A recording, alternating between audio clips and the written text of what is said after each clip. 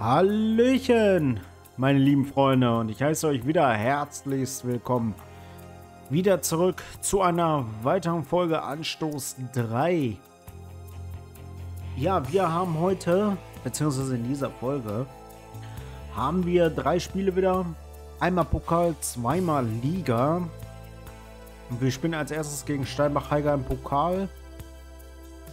Ansonsten haben wir noch das Spiel gegen TSV Hauptstadt und gegen VfB Stuttgart.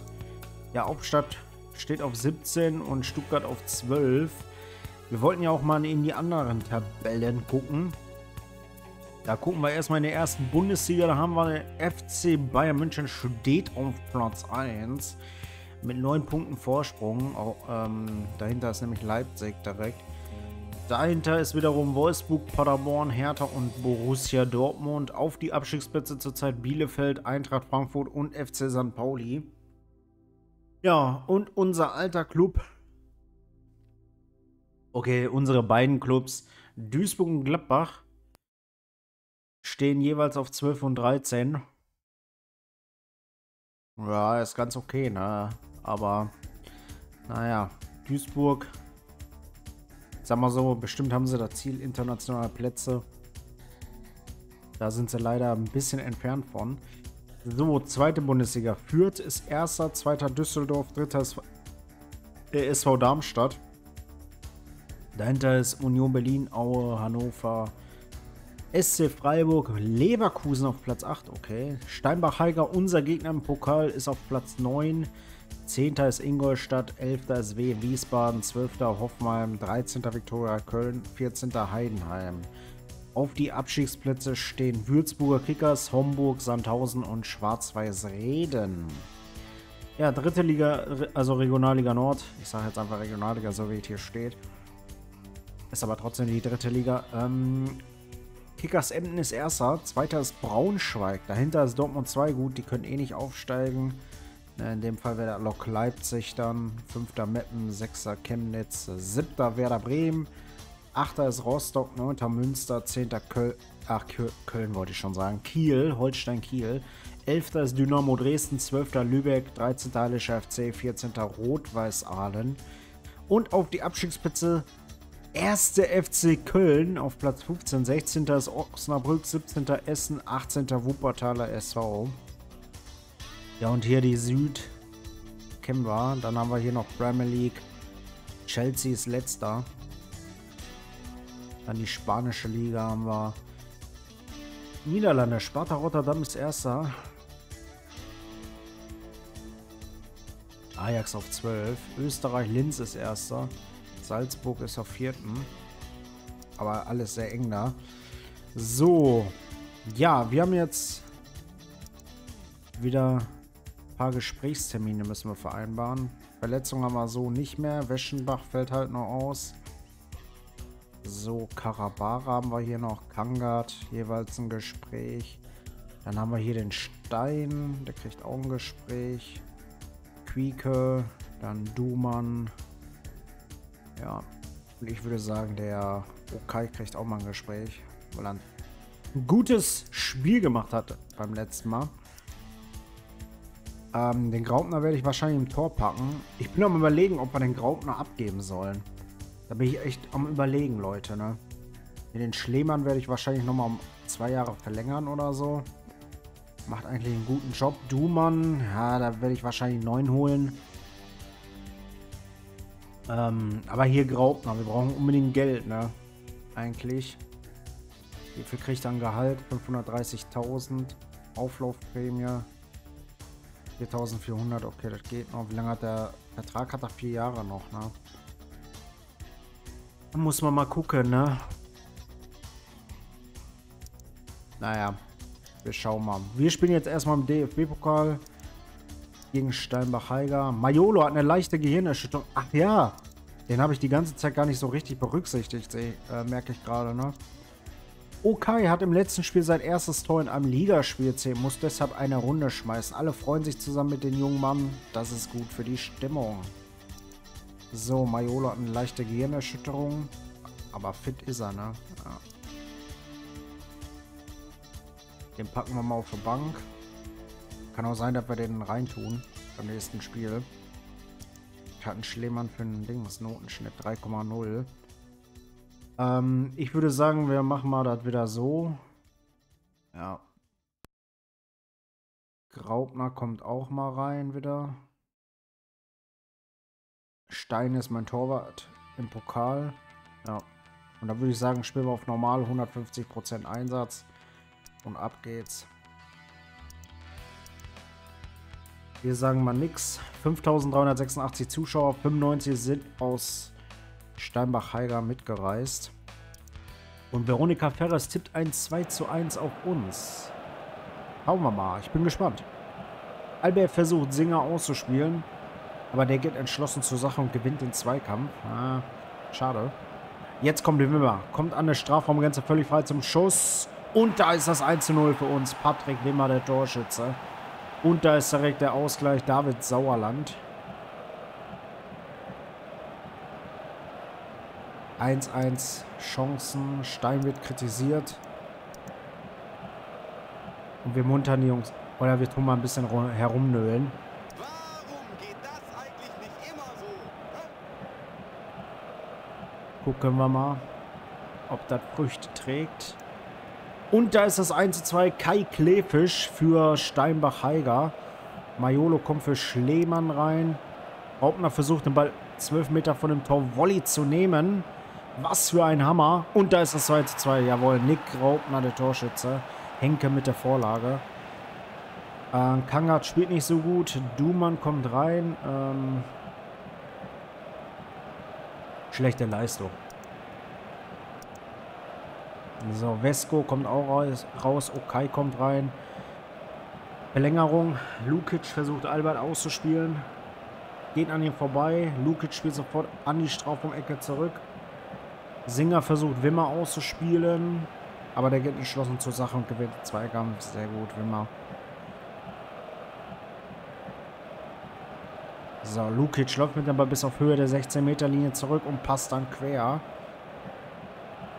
Udra kommt an der Strafraumgrenze völlig frei zum Schuss. Keine Chance, Stein und da ist das 2 zu 3 für Steinbach-Heiger.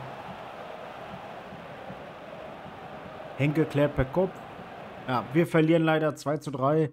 War eine enge Partie auf jeden Fall. 4 zu 5 Chancen, war ausgeglichen. Besser Spieler war Patrick Wimmer, Spielwertung 3, ganz nett. Ja, David Sauerland hat noch einen Oberschenkelbruch erlitten. Erstmal gute Besserung an ihm. Wir sind leider raus. Was soll's. Ähm, ja, war halt ein Zweitligist, aber wir waren halt nicht chancenlos. Ne? Von der Stärke her waren wir besser, aber... Ah, ah.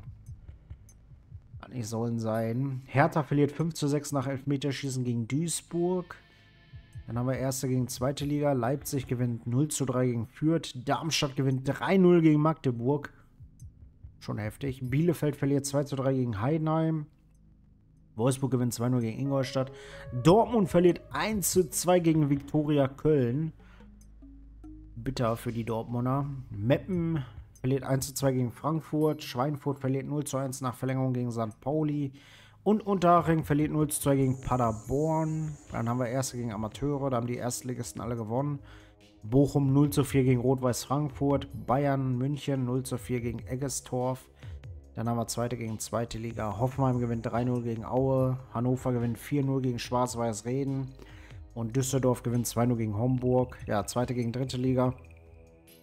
Wir haben leider 2 zu 3 nach Verlängerung verloren. Und dritte Liga gegen Amateure. Hessen-Kasse gewinnt 5-0 gegen Teutona Ottensen. Ja, wir gucken uns auf jeden Fall jetzt die Auslosung mal an. Mal gucken, was für Partien so da genau rauskommen. Da haben wir schon mal die erste Partie. Bayern München muss gegen Steinbach-Heiger, gegen die wir verloren haben. Dann haben wir Hessen-Kassel gegen VfL Bochum. Wolfsburg muss gegen Eintracht Frankfurt im Erstligaduell. MSV Duisburg spielt auch zu Hause. Die spielen auch gegen den Erstligisten St. Pauli. Dann haben wir Darmstadt.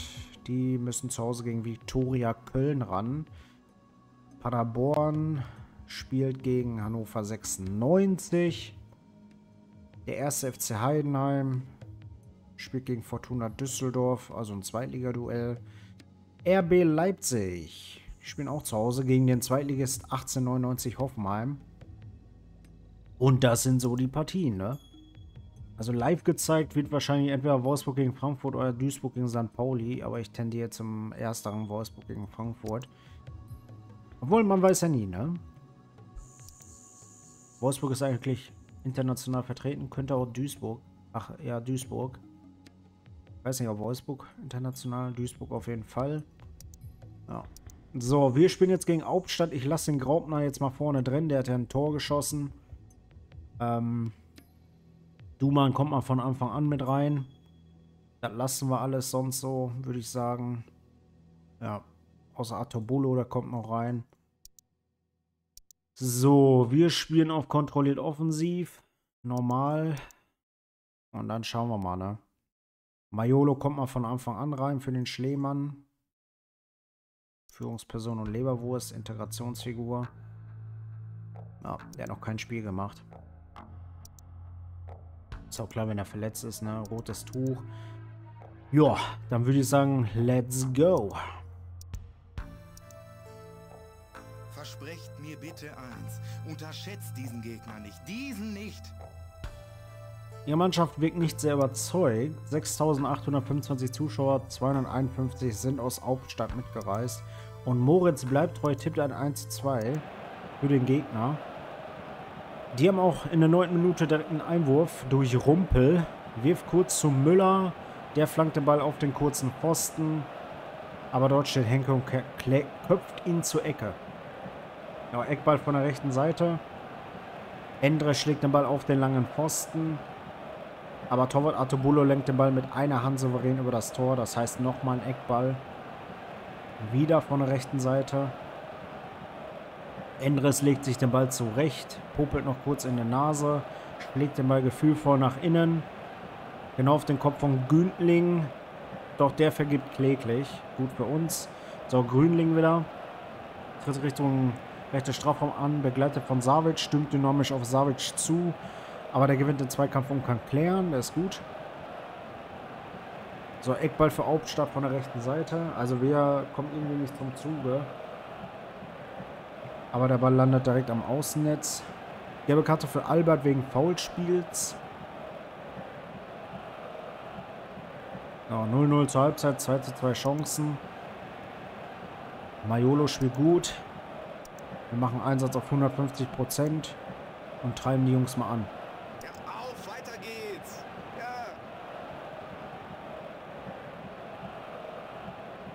So, hier passiert immer noch nichts. Kangat kommt für Duman rein. Eckball jetzt von der linken Seite für uns. Vielleicht passiert jetzt mal was. Kangat zieht den Ball scharf direkt vors Tor. Vesco kommt gegen Kuh zum Kopfball und da ist das 1 zu 0. Jawohl. Ja, Kangat drinne, direkt ein Eckball und drin ist das Ding.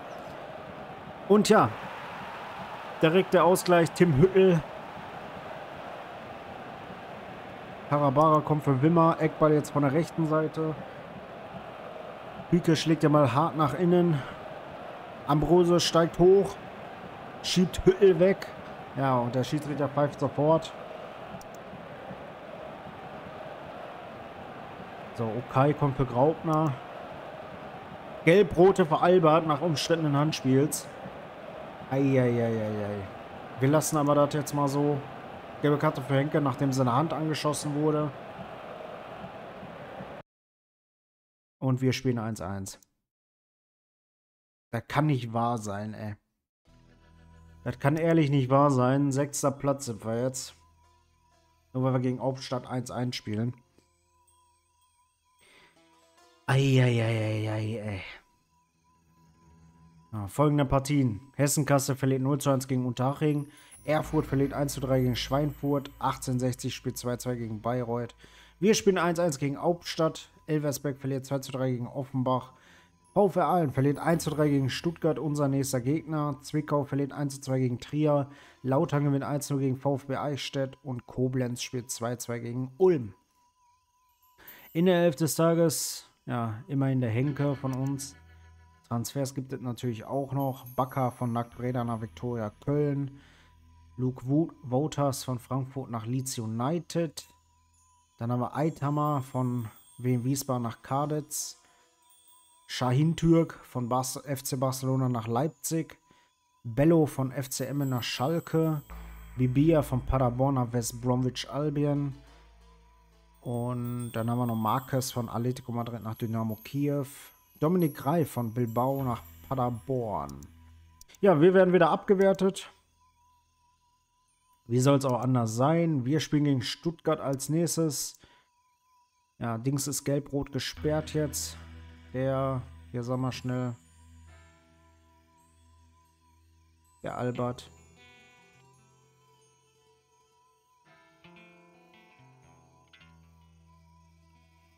So, erstmal ein paar Gespräche wieder hier. So. Wir gehen dann mal in der nächsten Runde. So. Rotes Tuch. Immer noch. So, machen wir natürlich ein bisschen Auswärtszuschuss noch, würde ich sagen. Sagen wir mal 1000 Karten, müsste reichen. Ja. Unbeliebt sind wir jetzt. Ja, 77% Vorstandsvertrauen haben wir. Ja, gut. Dann Wimmer hat sich Knöchel verstaucht. Ja, das kommt auch jetzt noch dazu. Oh Mann. So, Champions League. Letzter Spieltag in der ersten Gruppenphase ist das. Man United und Monaco sind weiter. Charleroi kommt in die Europa League. Tel Aviv ist raus. Augsburg gewinnt 1 zu 2, ist aber trotzdem leider raus. Eindhoven, PSW Eindhoven und Dynamo Zagreb sind weiter. Stadtrennen geht in die Euroleague. Augsburg, wie gesagt, ist raus. So, Gruppe 3. St. Gallen und Sociedad sind weiter. Atalanta Bergamo geht in die Euroleague und Crystal Palace ist raus. Gruppe 4. SV Ried und Villarreal sind hier weiter. Chelsea geht in die Euroleague und Silkeborg IF ist raus. So, dann haben wir Gruppe 5. Regensburg verliert 3-1 gegen Barcelona, ist damit in die Euroleague gerutscht. FC Brügge und FC Barcelona sind jeweils weiter. Krasnodar ist raus. Dann haben wir Dortmund. Spielt 2-2 gegen Juve. Ist damit als Gruppensieger weiter. Zweiter wurde Sparta Rotterdam. Juventus geht in die Euroleague und AEK Athen ist raus. Gruppe 7. Gewinnt Leipzig mit 0 2 gegen Rom. Ist damit Erster.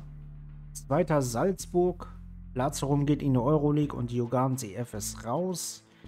Dann Gruppe 8 Wolverhampton Wanderers und Sporting Lissabon sind weiter. Olympique Lyon, Euroleague und Guimarisch ist raus. Aber schaut euch das mal an. Alle drei sechs Punkte, ey. Schon heftig. So, Wolfsburg ist weiter. 0 zu 1 im Rückspiel auch gewonnen. Duisburg ist raus. Weil Hinspiel haben sie ja auswärts gespielt und ja, Dementsprechend, ach, zu Hause gespielt, meine ich. Dementsprechend sind sie raus. So, Twente Enschede gewinnt im Rückspiel, ist aber trotzdem raus. Und Hamburg verliert auch im Rückspiel, ist damit auch raus. So, Gruppenphase. Die nächste Gruppenphase. So, Gruppe 1. AS Monaco, Sparta Rotterdam, Salzburg und SV Ried. Zwei österreichische Mannschaften. Boah, warum nicht, ne? Gruppe 2, FC Barcelona, Dortmund, Real Sociedad und Wolverhampton Wanderers. Das heißt zweimal nach Spanien für Dortmund. Ma Gruppe 3, Manchester United, PSV Eindhoven, St. Gallen und Villarreal. Und Gruppe 4 haben wir FC Brügge, Dynamo Zagreb, Leipzig und Sporting Lissabon. Euroleague haben wir ja auch noch einige deutsche Mannschaften. Regensburg ist zum Beispiel da reingerutscht. Muss gegen RSC Charleroi aus Belgien. Wolfsburg muss gegen Wittes Arnheim. Und Schalke muss gegen Ercelon, die ja Hamburg rausgeschmissen haben. So. Ja, Albert ist gelb gesperrt, leider. Deswegen muss, so, muss der Mbuko ran. Und Stellwagen kommt dann auf die Bank. Genau. Ja, ansonsten, wie gesagt, also Kangert kommt wieder rein. Vesco, Graupner, würde sagen, okay, kommt für Graupner rein. Ja. Ach, der Wimmer kann wieder spielen. Ah, das ist schon mal gut. So, 150% Einsatz. Schauen wir mal, was passiert.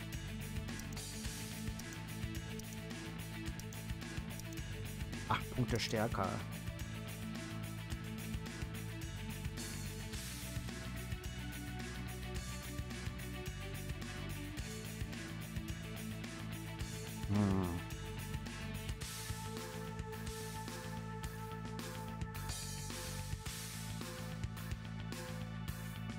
Nee, lassen wir mal.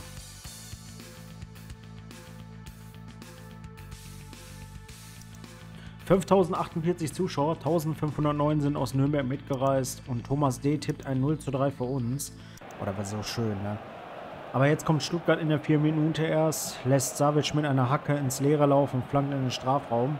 Ach, mit dem Haken, aber dort landet er hinterm Tor. Gelbe Karte für Sosa wegen Foulspiels. Und da ist das 1-0 für Stuttgart. Borna Sosa führe ich mit der Vorlage. Villabri, Villalibre nimmt den Ball mit, flankt aus vollen Lauf, aber der landet auf der anderen Seite des Flügels. Machado nimmt den Ball mit und flankt aus vollen Lauf. Aber der Ball ist unerreichbar und landet rechts im Seitenaus. Adai schießt sofort, genau auf den Keeper. Der packt sich ja zu. Sofortiger weiter Abschlag in die Sturmspitze. Wimmer versucht Ahamada auszuspielen. Geht an ihm vorbei.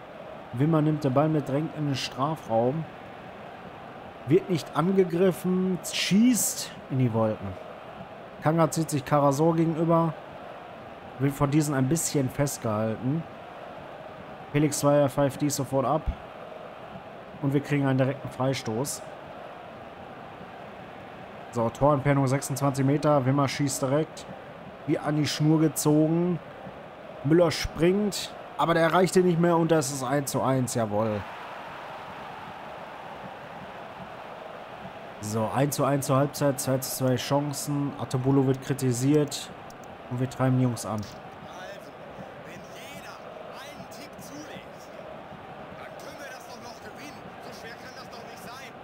Ja, gewinnen können wir das. Und da ist das direkt das 2 zu 1. Egloff, der Torschütze. Sosa kommt 25 Meter von dem Tor in den Ball. Läuft nur drei Schritte und zieht ab. Und der Ball zappelt im Netz. Was ist los, Jungs? Was ist los? Mann, fängt wieder an, ey. Mbuko versucht Villa Libre auszuspielen. Geht an ihn vorbei. Mbuko weiß nicht so recht, was er machen soll und läuft in die Mitte. Schlägt er mal auf den rechten Flügel. Kein Abseits. Wimmer marschiert in den Strafraum. Sosa geht mit. Spielt zur Torauslinie. Aber keiner seiner Mitspieler kommt heran. So, Sosa wieder. Ich glaube, der Ball etwa 19 Meter von dem Tor. Leitet ihn sofort in den Strafraum weiter. Kein Abseits. Aber ein Linienrichter hebt die Fahne. Oh, 64. Minute. Graupner kommt für Okai rein. Duman kommt für Kangat rein. So, Sommer stoppt den Ball etwa 17 Meter vor dem Tor, spielt den Pass in den Strafraum. Kein Abseits. Villa Librene wird nicht angegriffen. Legt den Ball ruhig auf den stärkeren Fuß. Zieht sofort flach ab. Um Haaresbreite vorbei. So. Wen wechseln wir aus? Karabara kommt für Dings. Geht dann auf die rechte Seite. Duman schießt sofort. Trifft Mavropanos. Der Ball landet in den Strafraum. Graubner ist ein Schritt schneller als Adai und kommt mit der Fußspitze an den Ball. Torwart Müller steht genau richtig und wird angeschossen. Und Tore, Torrent kann, den, kann das klären. Und da ist es 4 zu 1, ja. 4-1 gegen Stuttgart verloren. Äh. 7 zu 4 Chancen. Besser Spieler war Sosa. Spielwertung 3. Ganz nett. Ja, wir landen damit auf Platz 9. Ist halt noch alles sehr eng. Das sieht man ja auch. Aber trotzdem.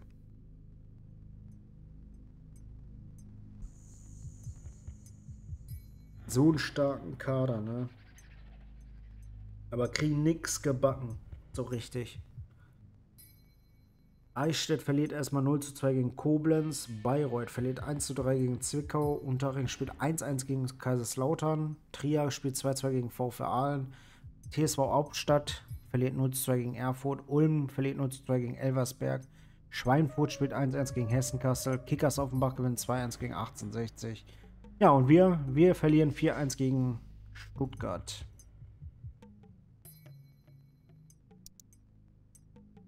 Also Matanovic wechselt von St. Pauli nach Bochum. Tim Meyer von Hannover nach Everton. Lucio von Erzgebirge Aue nach Go Ahead Eagles. Lembruggen von Sparta Rotterdam nach WM Wiesbaden. Pacheco von Paderborn nach FC Fulham und Allegos vom Feyenoord Rotterdam nach Chelsea. Kai ist für die Nationalmannschaft nominiert. Omen wird umworben.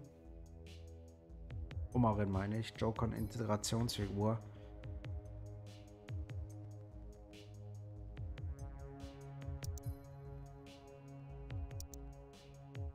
Aber Weschenbach wird wieder umworben. Ja, wir spielen dann in der nächsten Folge gegen Eintracht Trier auf jeden Fall. Ähm, ja, machen wir mal herauslaufen. Ja. Also da ist wieder der Wurm drin, ne, bei denen. Muss ich sagen.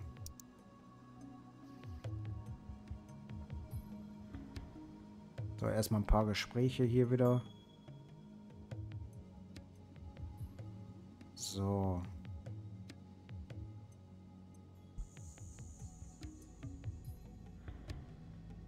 Ach, haben wir schon. Stimmt. Ja, in der nächsten Folge haben wir dann die Spiele gegen Eintracht Trier, Bayreuth und Kickers Offenbach. So, wo stehen die denn? Kickers Offenbach steht auf 4, Trier auf 12 und Bayreuth auf 14. Ja, wir müssen auf jeden Fall Sieger einfahren, also ich weiß auch nicht. Hinten fliegen die Tore, vorne fallen kaum Tore, ne? Dann machen wir das so jetzt. Wieder.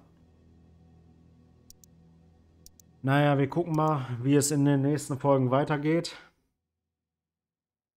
Was sagt Vorstandsvertrauen? Ja, 72% geht wieder langsam runter. Äh, mal höher, mal tiefer. So sieht unsere Lage zurzeit aus. Ähm, aber wir gucken mal. Man kann, auch, man kann auf das Beste hoffen. Ich sag mal so, wenn wir jetzt drei Siege in Folge starten, in der nächsten Folge, dann ist es schon wieder gut. Aber wie gesagt, da muss mehr kommen.